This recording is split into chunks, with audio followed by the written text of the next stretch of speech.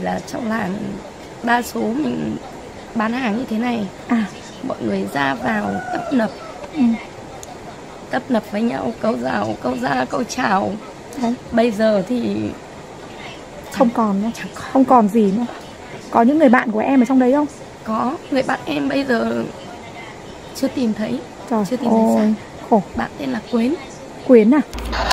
Alo, thảo ơi vâng em đây. ừ chị hóng đây thế hôm hôm qua lúc chị ở nhà em xong chiều hôm qua là đã tìm thấy quyến đấy em biết rồi đúng không Vâng, trời ơi linh quá trời quá đất luôn em ơi vâng. chị hôm qua về cũng may. ờ chị hôm qua về chị mới này này.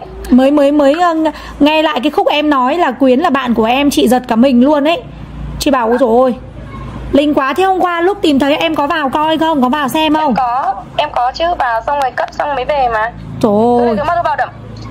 lúc đấy em em vào thì ờ, tình hình tình hình quyến thế nào có còn nguyên vẹn không hay là như nào rồi kể chị nghe nào Còn nguyên vẹn chị ạ. Nói Thế chung à? là còn nguyên vẹn, mọi thứ vẫn còn nguyên vẹn, chỉ có mỗi mặt là bị dập dập mặt vào một tí thôi.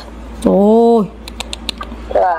thế đào ở cái độ sâu không em có sâu lắm không Chắc ở dưới gầm cầu đấy nó rơi vào khoảng tầm 4 mét gì đấy. trời đất ơi thế à thế em vào đấy là xong chiều qua em có đưa ma đưa tang luôn gì chôn cất à Ừ, Chôn đi chôn cất xong rồi chắc là mấy nữa mới làm đám thôi, chưa làm đám luôn đâu chị ạ.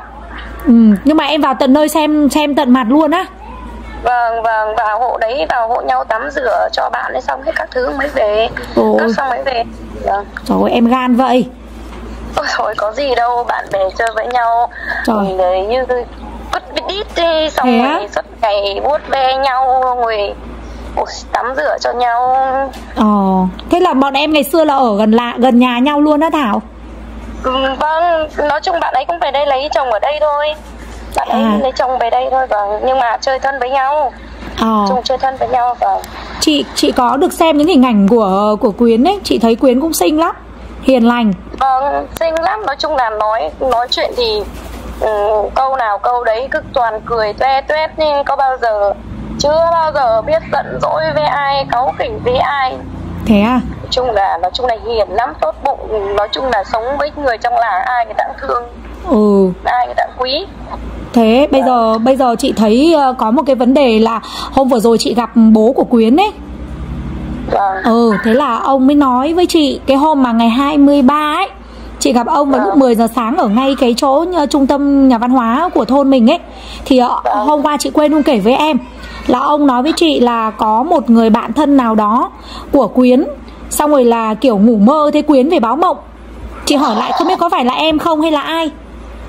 Ừ, không, không phải đâu, thế thì không phải em đâu. thế à? Ừ, bạn vâng bạn bè bọn em chơi chả thấy chả thấy nó báo mộng báo miếc gì cả. Xong ừ, lúc máy xúc bảo là thôi cứ nhà nó cứ nghĩ là nhà nó sẽ trôi về đoạn đấy thôi bởi vì vớt được con với chồng nó đoạn đấy thì thì cứ tìm ở đoạn đấy xem thôi. Chứ Ừ. còn cũng không nghĩ là tìm thấy ở đấy luôn thì múc ở chỗ đấy thì được ba người thì cũng không nghĩ là được cả bạn ấy ở đấy đâu. Ừ. Vâng nói chung là nói chung là cũng may nói chung là người thì người ngợm thì, thì vẫn còn nguyên chị ạ. À thế à Vâng, chắc là xuống sâu lòng đất hay sao ấy, hướng đấy đến nước nó mát hay sao ấy, người có nguyên si luôn, chỉ gọi là hơi sưng một tí, hơi Ừ. phù một tí thôi.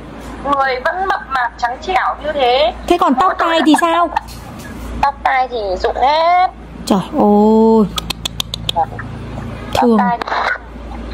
chung là thương lắm, nói chung là Thương. biết làm nào. Bây giờ biết là thương cùng nhau cố gắng xong rồi hộ nhau cất lấy tắm rửa cho hết xong rồi tắm rửa cho bạn ấy xong xuôi hết xong rồi mấy bọn em ấy thì cất đám xong rồi ờ, thêm cất bạn ấy gần ở chỗ chồng bạn ấy xong bọn em ấy về. Ừ khổ nhở thương quá. Mà ừm, hôm chị gặp bố thì bố bố của quyến nói như thế. Xong rồi ờ, chú cũng chỉ kiểu ý là quyến về báo mộng cho bạn của quyến ấy là ở ngay gầm cầu đó em ạ. Xong rồi chú kiểu lúc đấy thấy bộ đội rút quân ấy thì chú cứ nghĩ rằng là kiểu gì người ta cũng ngừng hay thế nào đó ấy thì chị cũng động viên chú bảo là chắc là không, họ sẽ không ngừng tìm kiếm đâu. Bộ đội rút là việc của bộ đội thôi. Thế xong kiểu ông đứng ông buồn á. Ông bảo bây giờ một cái bãi đất rộng mênh mông thế này tìm ở đâu được? Thì cũng hy vọng là con gái chú nó về nó báo mộng cho bạn nó. Hy vọng là nó ở, nó vẫn đang còn ở chỗ đấy, chưa bị trôi đi ra sông, hoặc là như thế nào đấy. Eo, chị nghe chị thương lắm. Hôm bọn em đi thi hôm đến hôm thứ hai, đến hôm thứ năm ở dưới tô mậu ở dưới uh, lục địa dưới đoạn tô mậu ấy Ừ. bảo là người ở dưới đấy bọn em cũng phi xuống nhưng mà không nhận dạng được nữa mọi người tâm tím tái là cũng nghĩ là bạn ấy thôi. Ừ. Thôi lúc đấy cứ nghĩ bảo là thôi cứ bây giờ mình cũng không nhận nhận được thì chắc không phải bạn mình đâu thì thôi mình ờ, cứ để người ta lấy mẫu lưu giữ vào để đấy khi nào qua đi xét nghiệm nếu mà bạn mình thì mình không đón chứ bây giờ đón về sợ không phải bạn mình thì cũng không được. Ừ. Thế là hôm qua đến lúc mà chiều hôm qua tầm 4 5 giờ ấy thì bảo là lấy một người nữa. Ừ. Thế bọn em ấy là ở nếu mà đoạn gầm cầu đấy thì cứ phi vào xem có phải bạn mình không. Ừ. Thế là phi là đúng bạn mình thế là mấy ờ, mấy ờ, mấy chị em rủ nhau bảo là thôi đi lấy đồ về tắm rửa lấy quần áo về nhưng mà không mặc được quần áo nữa thì phủ ở trên thôi bởi vì người bây giờ không mặc được quần áo tức là nó bị ấy lên rồi gì nó bị trương lên rồi đúng không nó chỉ hơi trương một tí thôi nó không trương như mọi người đâu chị ạ thế à chỉ gọi là người nó mập nó người nó bình thường nó năm năm cân mà nên là nó chỉ tầm nếu mà nhìn nó phù nên nó chỉ được khoảng tầm năm bảy năm tám cân thôi. À ôi dồi ôi. Người người nó không sưng không phù một tí nói chung là người nó vẫn trắng trẻo mập mạp trắng trẻo lắm. Ừ, không thế- không thâm không bầm không tím đâu chỉ có mỗi mặt bị dập một tí. Ừ. mặt bị dập một tí thôi chứ còn đầu các thứ vẫn còn nguyên. Ờ ờ thế chứng tỏ là kiểu như cái độ sâu nó sâu quá ấy thảo. Xong kiểu ở Đúng dưới nó rồi. mát ấy nó giống như cái ngăn mát tủ lạnh em em hiểu không Vâng, em nghĩ là chắc là xuống dưới đoạn sâu đấy bởi vì là còn không phải lấy ở trên gầm cầu cơ, trên cầu cơ mà lấy ở tận dưới gầm cầu cơ. À. Bởi vì bình thường cầu đấy bọn em đi qua đi vào nhà bạn ấy là nó đã sâu rồi ấy, cách Ừ. so với mặt tới nó phải tầm 4 5 mét rồi. à Tức là xuống dưới đấy nước nó mát ấy kiểu Đúng là toàn rồi. cát không phải bùn nên là người nó cũng không bị ẩm, người nó không bị bở nhanh kiểu nó nó, nó dính vào cát ở dưới đấy thì cát nó mát ấy chị. ừ mà người vẫn chưa bị phân hủy nhở Không bị làm sao ấy, nói chung là người còn nguyên lắm, không phân hủy gì người. Trời. Người vẫn còn nguyên lắm. thương nói nhở chung là vẫn còn đẹp lắm. Thương Vâng, thế mới lấy lên mọi người bảo là không biết có phải quyến không. Nên bọn em mới bảo là đây đây bọn em xem bọn em mới um, mới mới hở cái răng của nó ra bởi vì răng nó đính đá mà. À. Hở môi nó ra thế nhìn thấy cái đính đá bọn em bảo đúng rồi đúng là bạn em rồi. Ừ. bởi vì là này không có ai đính đá răng ngoài nó bởi vì bọn em chơi cùng nhau bọn em biết. Ừ. Nên bọn em hé cái môi nó lên nên nhìn thấy có đính đá răng mà thôi đúng là bạn mình rồi. Em mới hộ nhau rửa ừ. Thế hôm qua có cả ông bà ngoại đấy mà kiểu gì bà ngoại trả ra xem? Không ông bà ngoại một đến lúc mà bọn em à, đóng quan xong hết rồi ông bà ngoại mới xuống đến nơi thôi. À thế à? Trời ơi. Chị mọi xem. người đăng mọi người đăng tin cứ bảo là ông bà ngoại ở đấy làm gì có. Đến lúc bọn em Ừ. đóng nắp quan xong hết rồi thì bà mới đến một lúc sau bọn em là mang đi cất luôn bởi vì không để lâu được. Ừ. nên là mang lên còn chồng bạn đấy luôn thôi chứ bà ngoại mãi về sau bà ngoại mới xuống. Trời ơi thế à? Vâng. hôm qua có thằng phúc thằng cô nhà quyến ở đấy không? Mãi về sau nó cũng đi học ở trên trường ấy bởi vì thôi bảo là bây giờ học thì vẫn phải học còn cái việc tìm kiếm thôi thì cứ để các cô chú thím ở dưới tìm còn việc con đi học cứ đi học thì cứ đi học. Ừ. xong rồi đến lúc đấy thì xuống thì bọn em cũng đóng nắp quan xong hết rồi mới xuống chứ. Tội nghiệp quá mà chị xem cái ờ, cái cái khúc mà hôm hôm qua Hoàng Hường vào thăm thằng cô thằng cô Bảo ấy. Chị không cầm được lòng mình luôn ấy. Nó nó nó không có biết bố mẹ nó mất hay sao nó ngây thơ quá. Nó còn nhỏ mà. Chung là nó còn ngây thơ lắm. Nó còn nhỏ Còn ngây- quá. À, Ừ. nói chung là giờ giờ cũng chả biết thế nào làm thế nào bởi vì là bây giờ bọn em cũng ngại lắm chị ạ. Bây giờ mà mình mình biết là mình chơi với nhau đấy đấy. Ừ. Mình nhau thế đấy nhưng mà bây giờ mình gọi điện nhắn tin cho con mình thì như Ngọc Phúc ấy bọn em cũng gọi bằng mẹ bằng con đấy. Từ trước giờ bọn bố bằng mẹ với nhau hết đấy. À thế à bây giờ mà mình gọi điện nhắn tin thì sợ người ta lại bảo là "À, bây giờ nó có tiền như thế mình lại nhà gọi điện nhắn tin hỏi hỏi thăm quan tâm mình cũng ngại bởi vì mình cũng biết là con của mình mình cũng thương cũng xót đấy nhưng mà Ừ. cũng muốn giúp đấy nhưng mà cũng không dám không dám gọi điện nhắn tin đâu bởi vì là Ừ. Hường nó ủng hộ như thế xong nó bảo là cấm không liên lạc gì với người ngoài anh em họ hàng cái gì ờ, không nghe máy của ai đến nọ đến kia ờ, sợ người ta lợi dụng. Nên bây giờ nói câu đấy thành ra bây giờ bọn em cũng rất là ngại ấy. không có gì Dạ. đâu theo như chị nghĩ chị khách quan ở bên ngoài nhá. Là hôm vừa rồi chị có nói chuyện với ông của Phúc nhé tức là bố của Quyến ấy. Thì theo chị được biết là Hoàng Hường cho 3 tỷ tức là kêu gọi được cho 3 tỷ nhá. Thì 3 tỷ đấy là đã mua hết vào nhà rồi bây giờ không còn đồng nào đâu nói chung là mình cũng biết như thế nhưng mà mình Ừ. vẫn ngại. mình nói chung là ừm, nói chung là cái phần hoàng hường thì vẫn là của hoàng hường là vẫn là riêng còn về việc vấn Ừ. đề của bất khác với lại các tập thể khác người ta về ủng hộ nữa mà à rồi chị hiểu rồi đấy xong bây giờ tự dưng mà mình gọi điện nhắn tin hỏi thăm mong người mẹ con như thế này người ta người người ngoài người ta chẳng hiểu người ta lại bảo là mình lợi dụng thế này thế kia bây giờ con con nó như thế mình lại bình thường chẳng thấy đâm sao bây giờ lại con con mẹ mẹ nhưng mà bình thường Ừ. mình thì chơi thân ba tay thì toàn gọi mẹ con thôi nhưng mà Ừ. người ngoài người ta đâu ai hiểu không nhưng mà bây giờ chị nghĩ là em đừng nên nghĩ như vậy tội nghiệp cháu bởi vì là thực ra bọn trẻ con bây giờ nó cần bố mẹ em hiểu không mà nó đang bị sốc như thế. Thực sự là nó đang bị sốc lắm ấy. Thế cho nên rằng là chị nói thật với em, tiền với mình là người lớn hơn nó, mình hiểu. Tiền cuối cùng cũng chỉ là vật ngoài thân thôi. Mà hơn nữa như như như bọn em, hoàn cảnh bọn em cũng đâu phải là thiếu thốn đâu. Thì cái đó kệ cộng đồng, kệ thiên hạ thôi, em ạ. Chị nghĩ là như vậy cũng ngại vấn đề đấy lắm. Nói chung là ừ, vấn đề tiền nong là nó thật ra là em cũng rất là ngại. Thật ra là Ừ. mình thì mình là con người mình cũng không thiếu thốn đâu. Mình cũng đủ ăn đủ mặc. Mình cũng không phải là người có tiền nhưng mình cũng đủ ăn đủ mặc. Mình Rồi. lo cho gia thôi. Nhưng mà sợ đến lúc mà cái đến lúc nó làm chẳng may nó nhỡ nhà ra làm sao đồng tiền nó Ừ. mất cái uy tín mình đi mình cũng không thích như thế. Ừ chị hiểu. mình nghĩ cứ bảo là thôi bây giờ mình cứ khi nào động viên thì ờ, qua đi mình vào nhà mình động viên con thế thôi. Chứ còn Ừ. ờ, chứ bây giờ mình cũng không thể để dám khẳng định là ngày nào mình cũng vào đấy mình ôm ấp con xong rồi thương con thế nọ thế kia được. Đến lúc lại tiền nong các thứ Đúng thì rồi. mình thật mà. Đúng mình rồi. bảo ba đi vào xong mình nói chuyện với con thôi chứ còn ăn ủi con thôi chứ bây giờ á cứ ngày nào cũng đi vào đấy chẳng lẽ ôm ấp con xong rồi mẹ lọ mẹ kia xong đến lúc người ta lại bảo ôi rồi đấy bình thường chẳng làm sao bây giờ cứ như thế mình cũng ngại lắm Đúng rồi, đúng rồi. Em nghĩ như thế cũng cũng là cái rất là ừ, chu đáo đấy. Có điều là nếu như theo cái cái cái ừ, cảm quan của chị với cái nhìn nhận của chị thì chị nghĩ rằng là mình ờ, tình cảm gia đình rồi em rồi tình cảm với vợ chồng Quyến từ ngày xưa đến giờ rồi thì những cái đó thì chị nghĩ là là là nó cũng không có đến cái mức độ là quá đáng sợ như là cộng đồng mạng người ta có những cái người kiểu người ta nói nọ nói kia ấy. Thì nói chung là cộng đồng mà em, cộng đồng mà sẽ có người nọ người kia đấy không không tránh được. ừ. À, vợ chồng em với vợ chồng Quến lại như này chồng em với chồng Quến ấy thì đã Ừ. chơi với nhau từ ngày bé rồi. À thế à? Chơi với nhau từ ngày bé ngày kiểu ngày xưa rồi từ, chơi từ cái thời nói chung là đi nuôi gà nuôi cá chắc trâu cắt cỏ là đi chơi với nhau từ ngày đấy rồi. À chơi với thân với nhau lắm.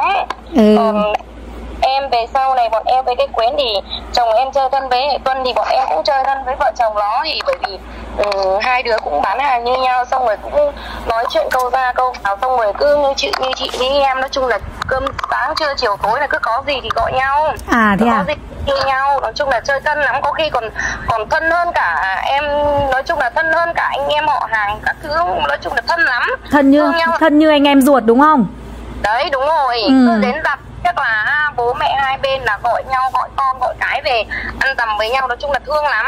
Ừ. Quý thương quý nên là bây giờ mình cũng ngại ngại về vấn đề ừ, nói chung là nhiều Ừ. vấn đề nên mình mình cũng rất là nhưng mà thôi em cũng nghĩ vì bọn trẻ bây giờ nó bố mẹ nó không còn nghĩ thương chúng nó em ạ. Thì chị chị biết rằng là cộng đồng người ta thương thì cũng chỉ là ví dụ như cho cái cái tiền thì nó cũng chỉ là bề nổi thôi còn sâu thẳm đó là cái tình cảm. Ai chẳng ai bù đắp được cái tình cảm cho tụi nhỏ cả. này về sau kể cả về sau em ấy bảo là hôm nào em nói chuyện với chồng em bảo là thôi mai này về sau con nó lớn lên nó thành người thì ờ, con nó con làm sao thì gặp con ở đâu thì hay là như nào con như thế làm sao thì mình cứ dạy dỗ bảo ban con nhắc nhở con một vài hai câu. Đúng Ờ, rồi. nó, ờ, nó thương mình thương mình như thương con mình ấy nên là ừm, cứ nhắc nhở con bảo ban con bây giờ con nghĩ như nào thì nghĩ còn việc mình nhắc con thì mình cứ nhắc bởi vì nó là con của mình. Đúng mình rồi. nhắc mình nhắc còn con nghe không thì việc của con thôi chứ bây giờ á bây giờ nó còn bé thì nó còn nghĩ được. Chứ mai này kia lên nó ra xã hội rồi thì lớn lên nó ra xã hội rồi nó nhiều cái va chạm thì lúc đấy nó cũng rất là khó. Khi đấy qua đi thì nó lớn lên nó biết nghĩ thì mình mình nhắc nhở nó nghe được thì nó tốt còn nếu mà nghe đúng được rồi nhở chứ không phải là nó không nghe thì mình cũng bỏ qua nó được. Đúng đúng Bởi rồi. thì mình cứ nhắc nhở thôi. Em nghĩ thế là đúng đấy em nghĩ thế là đúng. À, thương đấy chúng nó bọn trẻ con chị cũng nghĩ tội nghiệp quá. Đùng một cái không còn bố còn mẹ nữa. Quá là là là là chị nói với em cái cú sốc nó quá kinh khủng luôn ấy. Mà hôm qua chị thấy thằng thằng thằng cu út ấy thằng cu bảo ấy nó cười nói nó cười khinh khích khinh khích nó ngây thơ mà chị nhìn chị đúng là thắt ruột thắt gan luôn nó chưa hiểu gì câu chưa biết gì đâu. Thế còn cái thằng cô phúc ấy thì chị thấy mặt nó lúc nào cũng buồn. Chẳng một khi nào thì nó nở một nụ cười nó buồn lắm. Mà ừ, chị nói với em tiền thì cũng chỉ là ừm, giúp cho cháu là vượt qua cái khó khăn để có cái nhà thôi chứ không bù đắp được tình cảm. Làm sao mua được tình cảm làm sao mua được mạng bố mẹ của mình được?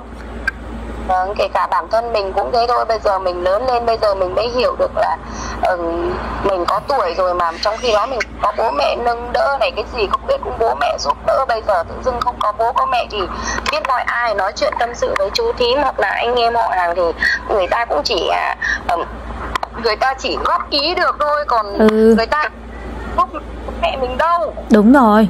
Vậy chị thấy như đợt vừa rồi Hoàng Hường kêu gọi cho được mấy tỷ mua nhà đấy mà. Rồi cuối cùng cũng nội ngoại hai bên cũng nói chung là cũng lời qua tiếng lại cũng mệt mỏi lắm. Rồi cộng đồng mạng. Nói chung là thật ra là em như em em cũng không phải là người trong cuộc em cũng không biết như thế nào. Ừ. nhưng mà so một người suy nghĩ như em ấy em ở ngoài em nhìn vào thật ra là bên nhà ngoại nó làm như thế cũng không được. Ừ. Thật ra này này chị bây giờ phải nghĩ nha Ừ. Bây giờ nó không còn đúng không? Ừ. Bố còn nữa. Bây giờ trước sau việc ma chay cưới xin việc to việc nhỏ của hai thằng này làm sao mà bỏ qua được hai ông hai hai người một người bác một người chú nó đúng không? Đúng rồi. Nhà nội bên nhà nội. Đúng rồi, không thể bỏ qua được bên nhà nội là ví dụ như các bác hoặc là các chú ruột của nó mình không thể bỏ qua được. Đúng rồi. Nhưng mà bây giờ đợt vừa rồi ấy, ừ, Hoàng Hưởng nó hỗ trợ như thế. Thì đáng ở bên nhà nội thì em không biết là nó bên nhà ngoại nó có nói chuyện với bên nhà nội không. Nhưng Ừ. mà em thấy cái video ấy thì lại cứ bảo rằng là ừ, bên nhà nội nó anh em nhà nó chẳng ra gì thế nọ thế kia ấy. Đúng đúng đúng Có cũng có nói Hôm vừa rồi chú cũng có nói với chị mà Chị có được xem cái video đấy không? Chị không xem nhưng mà chú trực tiếp nói với chị đây Đấy, Ừ Ý chú cũng chê gia đình nhà nội một chút Bởi vì là Rồi chị cũng thấy khán giả người ta nhắn tin cho chị ấy. Người ta bảo là gia đình nhà nội là có một số người cô chú gì đấy chưa gì cứ đòi chia tiền. Thì thế thì em mới nghĩ bảo rằng Ừ. chắc thế đâu bởi vì em chơi cùng em biết. Kể Ừ. cả người ta em nghĩ trong đầu em bảo là kể cả anh em cô chú nó có chia nó chia nhưng mà nó vẫn phải có cái trách nhiệm về sau là chúng nó vẫn phải làm ma xin cưới chay cho bố mẹ thằng này nó còn có Ừ. chỗ thờ có thi đất đúng không? Ừ. Xong mai thằng này lớn lên thì ở bên cả gia đình nhà nội nó phải có trách nhiệm là cưới xin cho thằng này lo nhà cửa cho thằng này nữa đúng không? Ừ. bây giờ nhà cửa thì hoàng rồi nó mua cho thật đấy nhưng mà nó mua cho một cái nhưng mà nó có hai thằng cơ mà. Thì đúng Bây giờ rồi. nó- nó còn tiền ăn tiền học hai này nó còn dạy dỗ chứ bây giờ nhà ngoại nó ôm vào nhà ngoại nó có làm được những việc đấy đâu. Nó chỉ nó chỉ biết là dành những cái tình cảm kia thôi chứ đúng không? Đúng rồi nói chung là bây giờ bây giờ em cũng chả biết em chỉ người ở ngoài nhưng em nhìn thấy kể cả bên nhà ngoại được bên nhà ngoại đồng ý bên nhà ngoại đứng ra đứng tên hoặc là tiền long bên nhà ngoại cầm cũng được Ừ nhưng bên nhà ngoại cũng phải thông qua hỏi ý kiến nhà nội một tí kể cả người ta không ra gì hay như nào cũng phải Ừ. nói chuyện với ta một câu Ừ. Tức là hai bên có nên nên đi đến một cái sự thống nhất đúng không? Thống nhất Rồi. bởi vì là nói thật của đau con sót gia đình hai bên đều mất con cả. Đúng rồi nó sẽ có cái sự thống nhất tốt nhất nhiều tốt nhất dành cho cháu Ừ. em thì em bây giờ em cũng chẳng mình chẳng giúp được gì bản thân mình bây giờ mình cũng đang gặp khó khăn mình chẳng giúp được nên mình cũng chẳng dám nói Đúng thật rồi. là chỉ có khi qua đi khi nào con nó gặp mặt mình hoặc là mình gặp mặt con mình nói chuyện với con mình chỉ chỉ là những lời tâm sự với lại những lời ừm, tốt đẹp cho con thôi chứ mình cũng chẳng giúp được gì cả nói Đúng chung là chỉ rồi. cũng tinh thần thôi Rồi chị hiểu. Ừ. nên là cái nó cũng khó lắm Thế bây là người ở đây mình hiểu nhiều lúc mọi người ở ngoài vào thì ừ, mọi người chưa hiểu hết thì lại nói thật ra như vừa rồi em thấy bên nhà nội người đó cũng, cũng nói lên bảo là mất người đã đau rồi mà lại nói như ý bảo là mất người đã sót rồi mà nhà ngoại lại còn còn chê bai bên nhà nội thế này thế kia ấy Ừ. thì em là thôi bây giờ ờ, mọi chuyện nó cũng chẳng ai khống chế được ai mà cũng có thể là ấy được thì nó lại khác còn thôi tốt nhất bây giờ cứ tìm thấy thi thể của bạn ấy đã xong rồi Đúng qua rồi. đi ờ, Ờ, ít cho bạn ấy về cùng, cùng chồng bạn ấy đi để ờ, cho nó mổ yên bà để cho bạn ấy đi đã còn bây giờ Đúng cứ rồi. nói đi nói cái đấy nó cũng chẳng giải quyết được cái gì trong khi đó bây giờ còn chưa tìm thấy cái thân thể thi xác của bạn ấy thì nó làm cái gì Đúng rồi, với cả là chị nói thật với những cái người mình là những người đang còn sống mà mình nói chung là cứ lời qua tiếng lại như vậy thì cái người mất người ta đau lòng. Người ta không yên nghỉ được ấy chứ. Đấy. Mà nói chung gia đình thì hai bên ai cũng đều đau xót nhưng mà cái cuối cùng thì để làm sao mà lo được tương lai cho các cháu mới là điều quan trọng. Lo tương lai mà lo là lo như thế nào thì mới là điều quan trọng. Đấy. Còn bây giờ cứ cái ai bây giờ trước mắt như thế này ai cũng nói mồm thì nói thật ra nói mồm thì kể cả ở ngoài vào người ta cũng nói mồm được nhưng qua đi quan trọng là ai lo được cho chúng nó nữa đúng chính xác. Ai, Trời ai ơi. lo được cho chúng nó nữa. Chứ Đúng rồi. nói thì nói thì ai cũng nói được, kể cả bản thân em, người ngoài thôi, em cũng là người chơi cùng nó, là mẹ của nó, em cũng có thể là nói được thôi, nhưng mà qua đi liệu em có làm được như thế không? Đúng rồi, nói thì dễ, nhưng mà làm thì rất là khó.